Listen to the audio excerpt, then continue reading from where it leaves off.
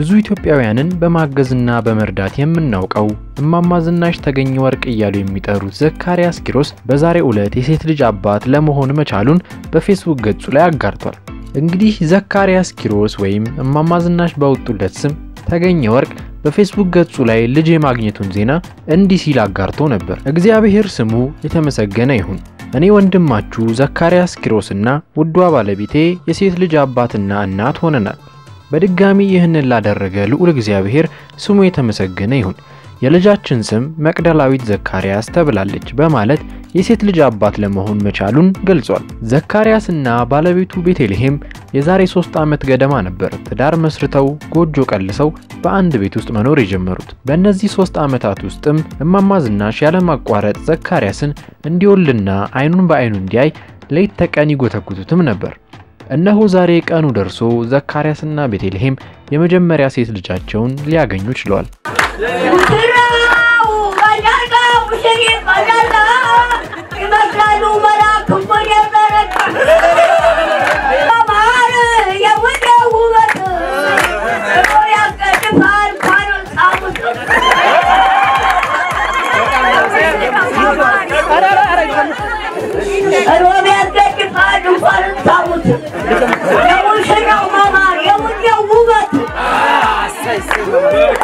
እንግዲህ ዘካሪያስን ለረጅም ዓመታት የተቸገሩትን ሲረዳ ነዳያንን ሲያለብስና ሲመግብ በተለይ ደግሞ በየዕለቱ ጠዋት ጠዋት ጎጃም በረንዳ አካባቢ ከሌሎች ጓደኞቹ ጋር አንድ ላይ በመሆን የተቸገሩ ወንድም እህቶቻችንን በመመገብ የጽድቅ ስራን የሚሰራ ወጣት እንደሆነ እናውቃለን። ከእነዚህ ከሚረዳቸው ነዳያን መካከል ልጅም አጋዥም የሌላቸውን አንዲትን እናት ቤት በመከራየትና የተለያየ እንክብካቤዎችን በማድረግ በ social media ላይ ባጋራው ቪዲዮ ምክንያት እማማ ዝናሽንም እሱንም ለመጀመሪያ ጊዜ ልናውቃቸው ችለናል።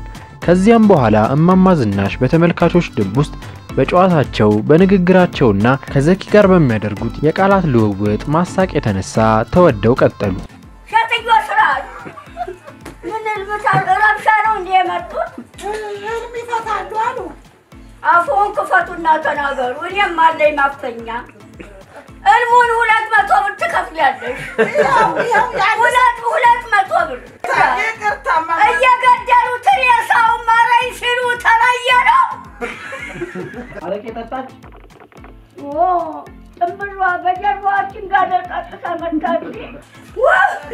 የመንግስት ናቷልኝ በየዕለቱም እማማ ዝናሽ ምን አሉ፣ እንዴትስ ዋሉ እያልን መከታተል የዕለት ተዕለት ስራችን አድርገን የቆየን ሲሆን በየጊዜውም አዳዲስና የማይሰለቹ ጊዜን አብረናቸው እንድናሳልፍ ምክንያት የሆነን ወጣትም ነው። ይህንን ልጅ የማግኘቱን ደስታም በፌስቡክ ገጹ ላይ ካጋራ በኋላ አብዛኛዎቹ ሰዎች በ comment ላይ ደስታቸውን እየገለጹ ይገኛሉ።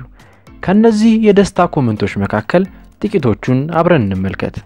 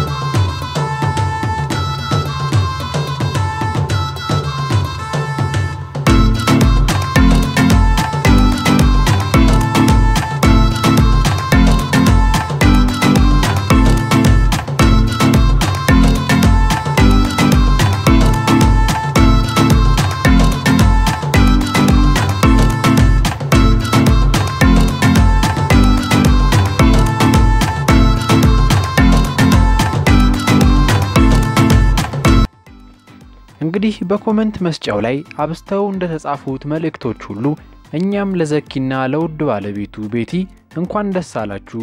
ዘኪ ዘኪ ብቻ ከመባል ቤቲም ቤቲ ብቻ ከመባል እንኳን ወደ አባት ዘኪና እናት ቤቲ ወደ መባል አሸጋገራችሁ እያልን ልጃችሁ መቅደላዊትንም ፈጣሪ እንዲያሳድግላችሁ ተመኘን። መልካም ጊዜ